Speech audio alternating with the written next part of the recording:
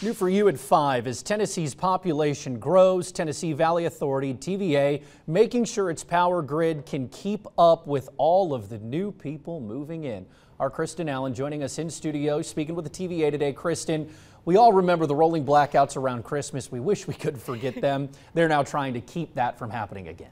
Yeah, well, those rolling blackouts last December were all because of everyone using a lot of power and a winter storm hitting on the same day. With Tennessee being one of the fastest growing states in the country, TVA is trying to keep up with the power demand and keep blackouts from happening again. TVA's customer base is expected to grow 1.5% by the end of this year. That doesn't sound like a lot, but that's about three times the national average. As the population grows and more people crank up the air conditioner this summer, TVA is upgrading its system systems to keep the lights on when temperatures are extreme.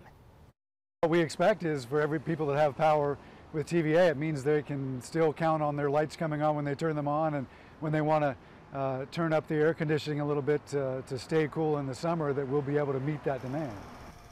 These upgrades will take some time to complete. Overall, the agency is rebuilding about 10% of its system to keep up with the growth in our state.